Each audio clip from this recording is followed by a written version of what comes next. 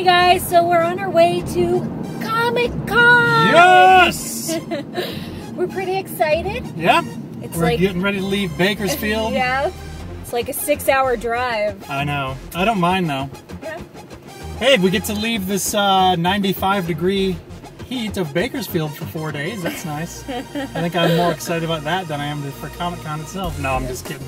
I just said that for fun. And here's Badger. Oh boy! Oh. She's excited. She's not going though. No, she's not going.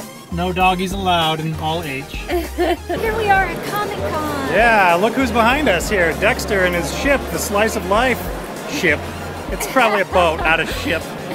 Maybe in a few seasons, Dexter will just have a whole ship That'd be awesome. filled with garbage bags, if you know what I mean. hey, we might get to go see the Dexter panel on Thursday, Yes, so yeah. if we get in there, we cross our fingers, we hope to get some footage up from it. Well, here we are in front of Frozen Pond.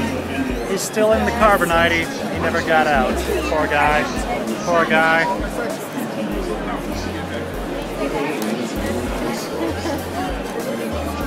Yeah, yeah, right on, babe. Still in battle, fight for our. Guild Wars 2!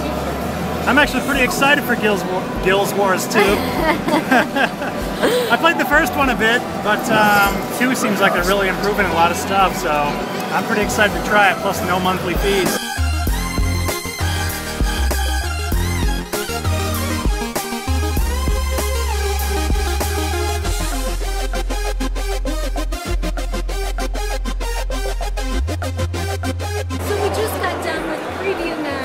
Night. That was Yes. a lot of fun. Yeah, we got to uh, stand on stage, and we're apparently going to be on X Play on G4.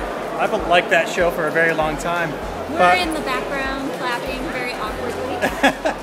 They said it's supposed to air tomorrow, which will be Thursday. So watch for us on uh, X Play. We also got to try out Guild Wars 2. That was really cool. What'd you think of Guild Wars 2, Drew? Hey guys, I am at the hotel now. It's uh, Wednesday night. Got to San Diego and did some cool stuff. And uh, I guess that's the end of the day.